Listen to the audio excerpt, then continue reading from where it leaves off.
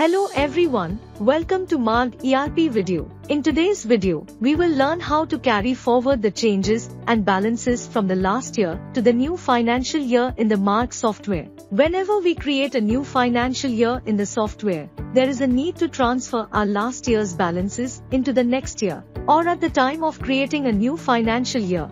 If you have forgotten to transfer your ledger balances, outstanding, pending orders, challans and PDC, from the previous year. Then with the help of the carry balances option, you can easily transfer all your previous year's ledger balances, outstanding, pending orders, challans and PDC, etc. into the new financial year. If you want to know the process of creating a new financial year, then you can take the help of the video link provided in the description box. Before starting the process, we would like to tell you that if you are a multi-user, then firstly you will close the software on all the node systems and run the carry balances option on the main system.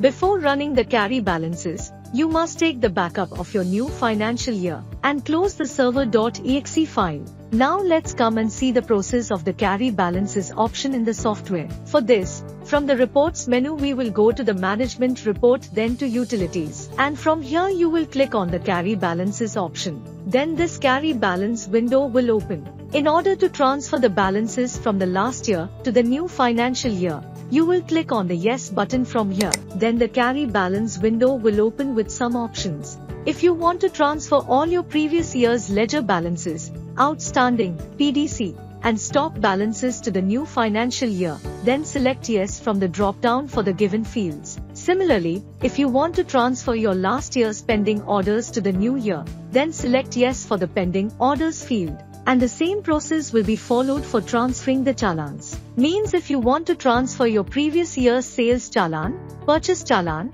etc. to the new financial year then you will select yes from the drop down for these fields otherwise keep it as no. Then in carry general reminder field, you will select yes. Then a message of start carrying from last year will be shown to you. Click on yes and will proceed. So, in this way, your balances from the last year will start getting transferred to the new financial year. Do not interrupt the process or close the system, otherwise, it will affect your data.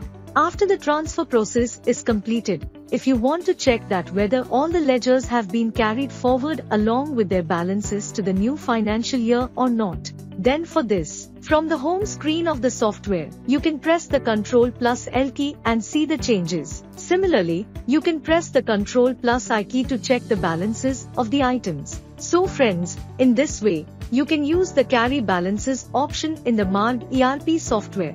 Thanks for watching.